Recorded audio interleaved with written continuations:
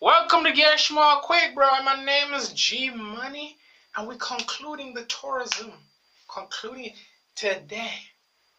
And today I want to continue back to what we were saying about UNESCO. And then UNESCO, the values of the World Heritage is that it's pretty, it's prestigious. So you know, prestigious when it has something as a high caliber. Another thing is the conservation. The conservation of this is it can, will it last long? Are we maintaining its structure, its heritage, those type of things? And income, dog. It's all about the money. Money makes the world go around, bro. Money makes the world go around. Now, the purpose now we're going to travel into something very interesting I want us to really look at, and that is customer feedback. We need customer feedback because we're not selling to ourselves. If we're selling to ourselves, we'll be rich, bro. We'll be rich because we know ourselves. Hopefully, you know yourselves, but if you don't, you, you need to start knowing yourself.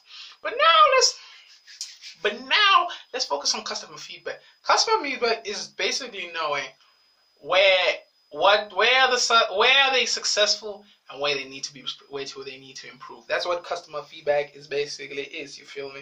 It's just knowing where you got to improve and where you're successful. Now the purpose of this is understand what you're doing that's right. It's also understand what you're doing that's wrong. Coming out the way to improve that, and also are finding a way to really attract people to really pull that in. And the method, the various methods you can do are recordings, questionnaire, customer feedback, follow up calls. What else? What else is that? SMS, and websites. Basically, all of these are very self explanatory, but let's go even deeper to really truly understand and really drill that down. In this concluding video, is that number one, you got to analyze the customer feedback. So, like, if people say we don't like this because of that, then you got to fix it. That's analyzing customer feedback. Then after that, you got to study: the, are they satisfied after we said after we we analyze their feedback? Are they satisfied? Then we got to know the common complaint. and we got to create an action plan. Got to create an answer. Remember, analyze the customers' compl- uh, analyze the customers' feedback, study or the customer satisfaction, know the common complaint, decide on an action plan. That's the thing you need.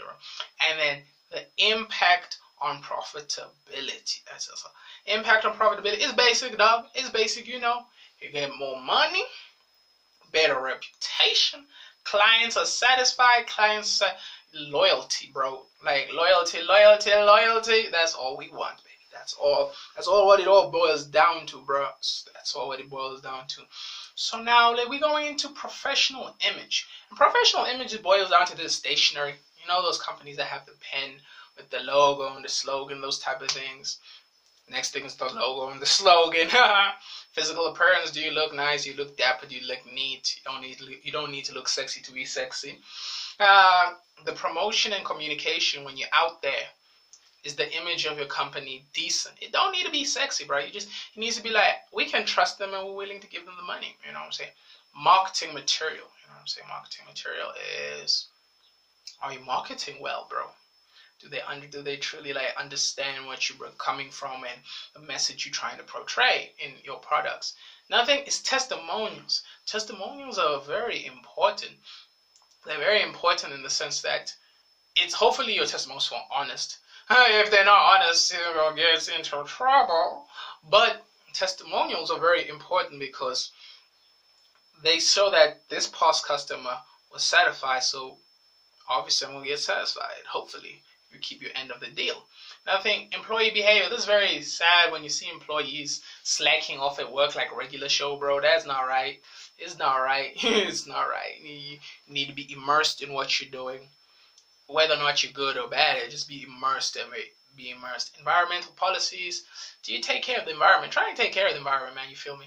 Be try and be a better individual for the world and also for your future kids so we can just spread more love and, and honesty and, and good um, mental habits and abilities that starts with environmental policies because if there's no environment for the kids to play drugs and guns are the next best thing bro.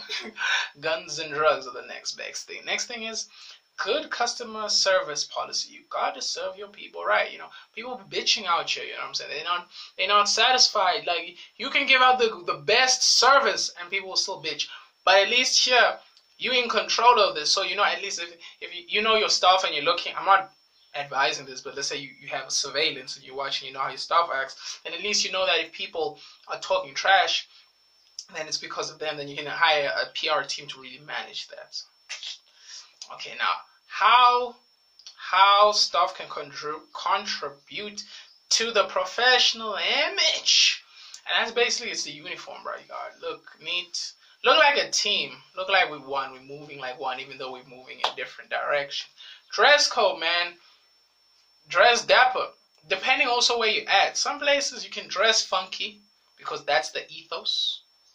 But some places you can't dress funky because that's not the ethos. Got from personal hygiene, man. Just smell decent. You don't need.